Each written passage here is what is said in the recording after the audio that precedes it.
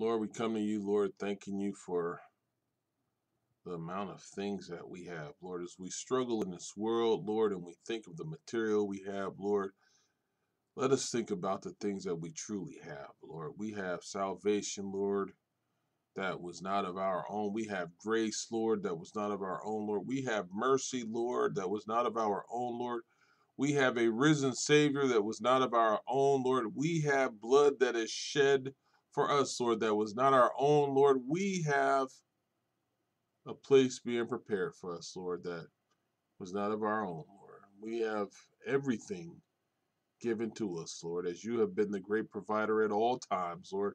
And you continue to give and give and give, Lord, and we just have to think about what we truly have, Lord. We may have material on this world, Lord, but it does not stand up to what we have in eternity, Lord. We may have wealth on this world, Lord, but there is no wealth greater than knowing Jesus, Lord, and that is the true wealth, Lord. We may think we have it going on in this temporal world, Lord, but we would rather be in glory, Lord, praising your name and lifting you up, Lord, knowing that we have it going on for eternity, Lord. So I call upon you today, Lord, just thanking you for how much you have given to us, Lord.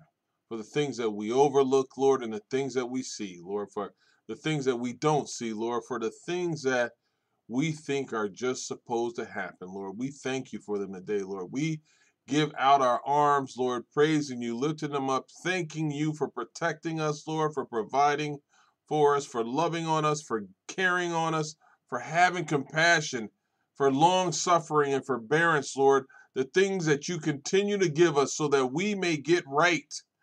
Lord, we thank you today again in the mighty name of Jesus for all of the things that you continue to give us, Lord, and we overlook. In the mighty name of Jesus, we pray. Amen.